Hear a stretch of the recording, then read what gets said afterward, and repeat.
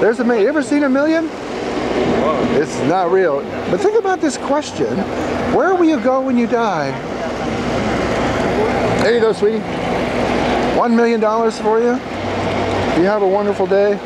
Have a wonderful day. What do you what do you think of this sign? What do you think about that? That this picture and that question. What do you think about it? Where will you go when you die? You know, one day you'll stand Sorry. before God. No.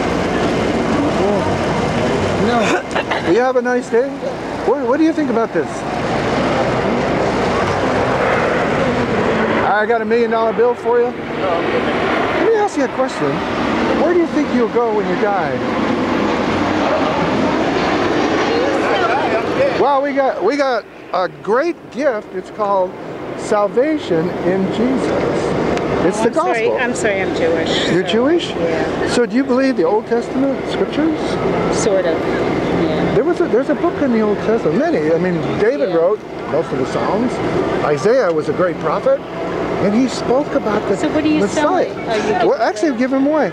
It's a. One it says million the message worth a million dollars. So you take that with you, because I think the message is for all people, and it's kind of sprinkled on the front, and then it's it's really uh, narrowed down on the back. But I was just kind of curious because I saw you giving out these bills oh and they yeah, look real. they do look pretty real.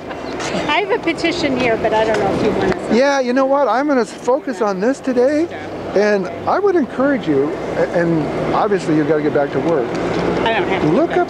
Think about this number, 5:3, Isaiah 53, where the prophet Isaiah says that talking about a future time when a Messiah would come, he said he would be wounded for our transgressions, he would be bruised for our iniquities, and by his stripes we would be healed.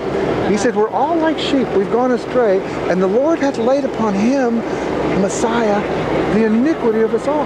You know what he's doing? He's describing the crucifixion 700 years before it took place. And interesting enough, there was no crucifixion when the time Isaiah made that prediction. There was no such thing as crucifixion. It hadn't even been invented yet. And here the prophet of God is saying, in time, this Messiah would come, and this is be how would be how he would reconcile us to God by suffering on the cross. So ponder that, uh-huh. because I think what matters above everything is what is the truth? Uh-huh. What is the truth? Jesus said, I am the truth. I am the way. Uh-huh. I am the life. No one comes to the Father but by me. If he spoke the truth, we must embrace him as our Savior and the Lord. And I believe the Spirit of God is the one that does the work. My job is, is try to put it in your mind where you can ponder it, but the Spirit of God moves in the heart, and He's the one that convicts us of the truth of it, and He's the one that gives us a new heart and transforms us. I become a Christian. I'm a child of God. I'm, I'm forgiven. I'm going to heaven. So that's the million dollar message. It's Oh. kind of put on there, and uh, you have a, a wonderful day. What's your name? Uh, Deborah. Deborah. I It's a- what petitions I find Uh, I don't know, but it's a petition for something. Something. you have a great day. Okay, well, I'm going to check it out. One million dollars for you? What do you guys think of that sign? That's an interesting question. Where do you think you'll go? Somewhere. One million dollars for you?